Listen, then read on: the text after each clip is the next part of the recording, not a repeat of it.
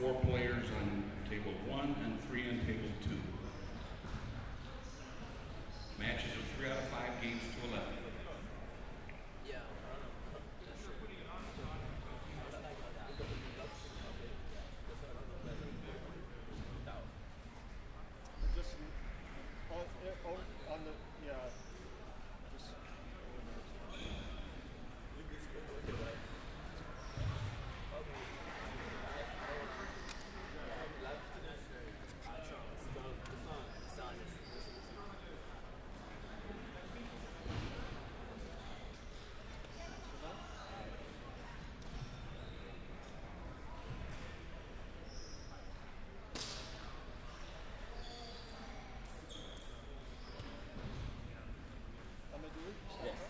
Hey Joe, can you hear me?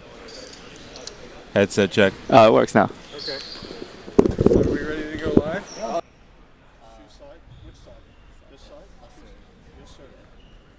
Two minute warm up.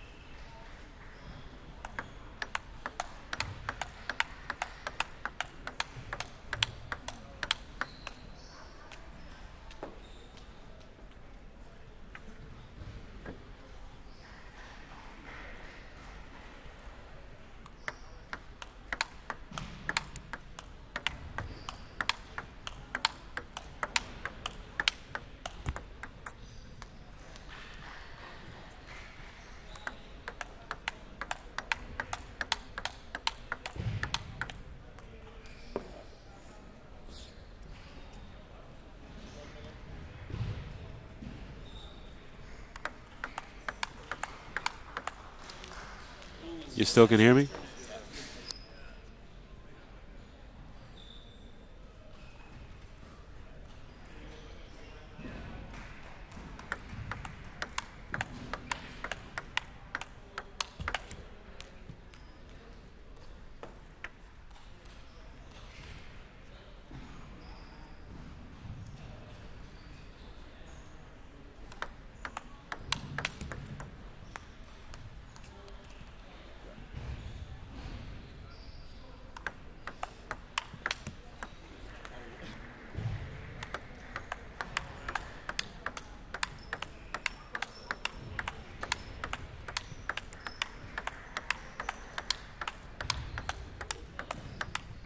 Time. Focus.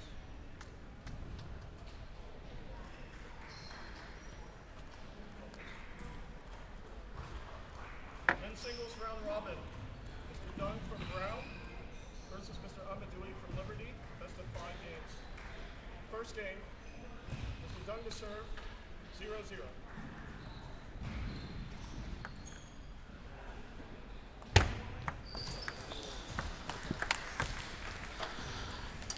All right, good morning and welcome to the 2016 TMS College Table Tennis Championships in beautiful Round Rock, Texas at the Round Rock Sports Center. I'm Joe Wells and alongside me in the booth this weekend is Brian Song. Brian, good morning. Good morning, Joe. Up first, we have the men's singles round robin matches. We've got Messanh Ameduite of Liberty versus Charles Deng of Brown. But before we get into this match, Brian, why don't you tell everyone a little bit about how your uh, how you got here to the championships and how you ended up sitting alongside me this weekend? Hey, Joe. I was lucky enough to win the NCTTA The Voice contest that they held earlier in the year. I sent in my voiceover over a YouTube clip, and I believe there have been four winners. It's myself, Dylan Lay, Andy Nguyen, and Kevin Korb. And we're all here today to uh, see some great table tennis. Yeah, I know it's going to be a really exciting time because we've got some new faces that are going to be here doing some announcing. You already mentioned earlier that uh, Andy, Kevin, and uh, Dylan are going to be joining us as well. But not to forget, Barney Reed will be sitting in with us also throughout the weekend. Unfortunately, we want to send a, a big shout out to uh, Adam Barbaro. Unfortunately, he can't be here with us this weekend. Unfortunately, had previous commitments. But uh, we wish him all the best, and we look forward to seeing him in the future. So right now, this uh, first singles round robin is underway, and it looks like Charles is off to a great start at 5-2 in the opening game. Yeah, Charles is the favorite player here if you just go off of rating. That being said, Messanh is one of those players who hasn't played, practiced recently, and just started back practicing a lot. Yeah, and obviously, you know, you, you think a little bit about this match. He must be pretty nervous his first year at college nationals. He's on the main stage here. He's playing against the higher rated opponent in this opening round robin. And like you said, he hasn't had a lot of uh, match match play here recently. But uh, we imagine he's going to fight through. I, I, know we read his bio a little bit earlier, and he's uh, spent some time in the military. Yeah, Messanh is actually quite a bit older. He is a, currently a medical student at Liberty.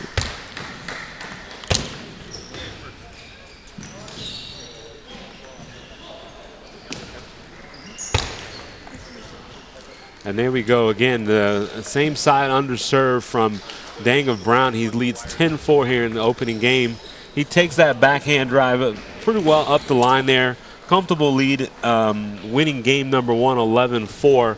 What do you think is going through Messanh's head right now as he goes into game number two? It looks like maybe some adjustments are going to be needed on return of serve. Yeah, you saw there he popped up a few of those serves. That lefty reverse pendulum from Charles Deng's totally fooling him a number of times. He's going to have to try to get the read on that if he's going to make any inroads in this match. And also, uh, just uh, if you're just tuning in with us, this is the men's singles round robin. So on this table number one, it's actually a group pairing. It's going to be Charles Deng of Brown, Felipe Kachka of Lindenwood, Messanh Ameduite of Li uh, Liberty University, and Tim Wong of UT Austin. Not to be confused with Tim Wong, a U.S. national team member. But it would be great if he could be here, but we've got the next best thing. For sure.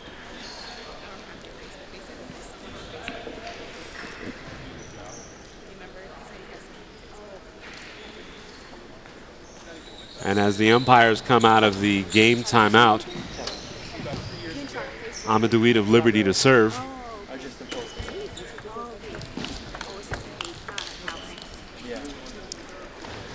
Looks like Messanh likes to stay a little bit off the table and try to hit some heavy loops.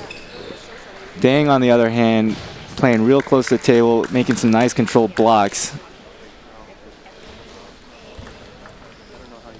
And I have a feeling just after looking at that first game, going into the second one, coming out of the timeout, Messanh obviously wants to be a little bit more of the aggressor here in this match. Ooh, nice.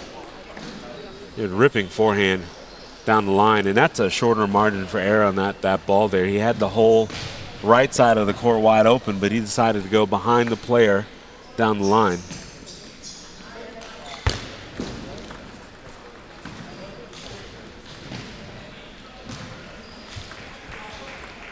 It also might be one of the a little bit of the advantages that uh, Deng is a lefty. Always tough to play a left-handed player. Their spins are always confusing.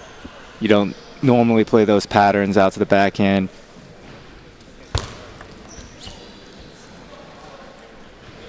And Messanh yeah. just can't get the read on that one serve there. It's topspin and it's fooling him every time. And typically the step around would be coming from the left side of the table going into the right side on the backhand side. But there you go. Messanh makes a quick adjustment on that forehand flippy. It comes into the table really fast. He's uh, tied up here at 4 all here in game number two. Just probably really wanted to give himself a chance to stay in this match as he lost that first one 11-4 uh, and never really fight, uh, quite felt comfortable. But here you see him fighting in the second game.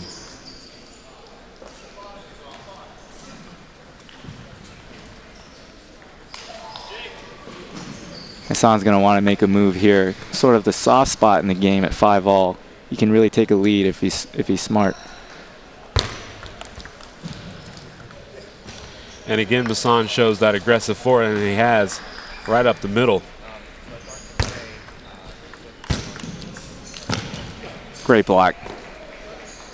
And I like the fight that I'm seeing from Messanh right now. You know, he didn't let game one rattle him at all. He had a game plan going into game two. It looks like he's using that forehand a whole lot more here in this uh, second game, and I look for him to stay with that shot uh, throughout game two. A little bit of a loose serve there. He did not need that. He definitely wanted to extend that lead from 7-5. Just a touch high. And Charles Deng takes advantage with a nice flip.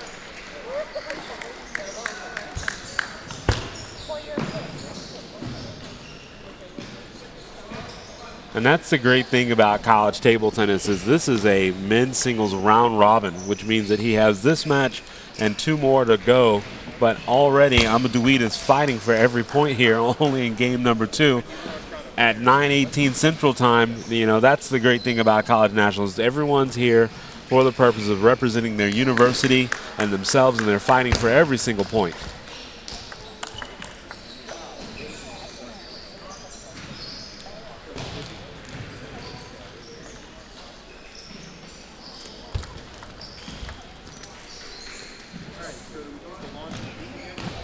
Messanh's going to want to be very careful here.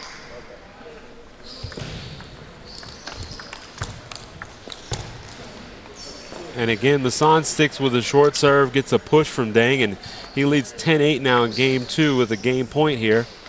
Quick turnaround from game one. Nice comeback.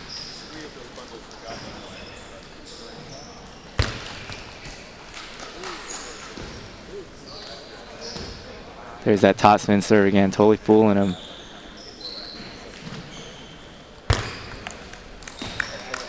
Two in a row. And just like that, Deng has turned this second game around here. We're deuce at 10 all now. I look for Messanh to go with a similar pattern from earlier in the game. It's a one-two punch, serve, and then loop. That was a very nice little bit of touch there from Charles.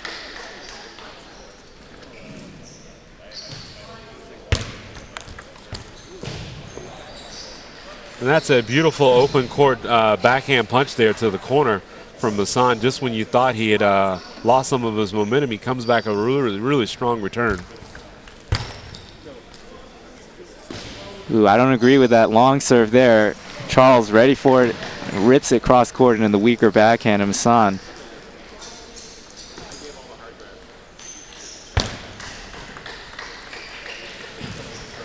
And just really, really impressed with the composure of Charles Deng there to be able to win that second game 13-11. He was down at one point 10-8. He saw match points, uh, excuse me, game points against him, but he fought off uh, some really strong returns of serve there. Uh, Messanh felt like he was in control. I looked a little bit towards the end there. He started to press with the forehand as opposed to you know taking his time and working his way into that game. But um, he's still he's he's fighting right now. He's in this match. Obviously, a lot of confidence going from game one to game two. We suspect he's going to try to do a lot of the same things. As we look at Charles Deng, we talk about a lot of our players having huge background experience. Uh, Charles actually won the under 10, 13, and 15 uh, U.S. Nationals and was on the U.S. junior and cadet team at one point. Uh, he stopped playing, unfortunately, as an eighth grader, took some time off, but he's back here playing college table tennis representing Brown. Yeah, college table tennis is a great way to get kids back in the sport. You know, a lot of kids, they play very hard when they're young, train insane hours, you know, and then they kind of fall off the horse a little bit. But college table tennis provides a great opportunity for them to get back and play in a game that they definitely, I mean, that they love.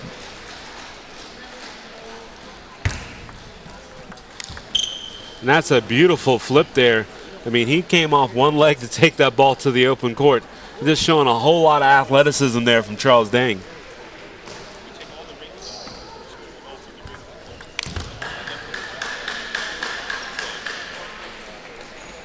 If Messanh isn't careful here, Charles is going to just completely run away with this match. I'm going to predict Charles will be as aggressive as possible.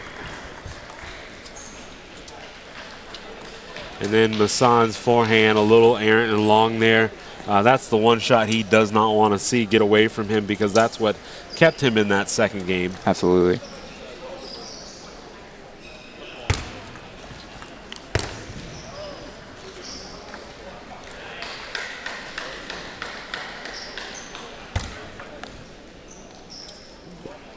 And at this point in the game, I think maybe a, a timeout at 5-1 in game number three. Maybe there's some nerves kicking in. He's trying to get himself motivated to get back in this, but Deng has just opened up this third game really, really strong.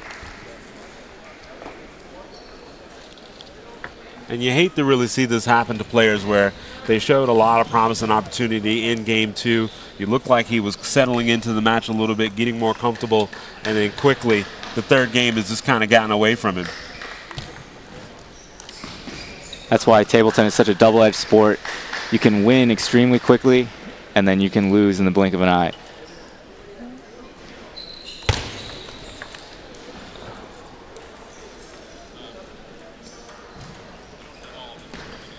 And the one thing that happens to a lot of players when they're playing this match, they get that early comfortable lead. They're up 2-0. Sometimes players have a tendency to relax. Hopefully we'll see here from Charles Deng.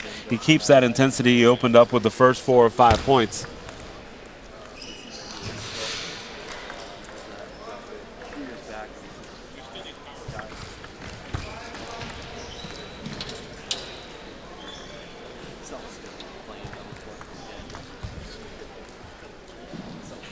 Again, the forehand push is taking a little bit long. It's 9-2 in game three. That serve there is just really good.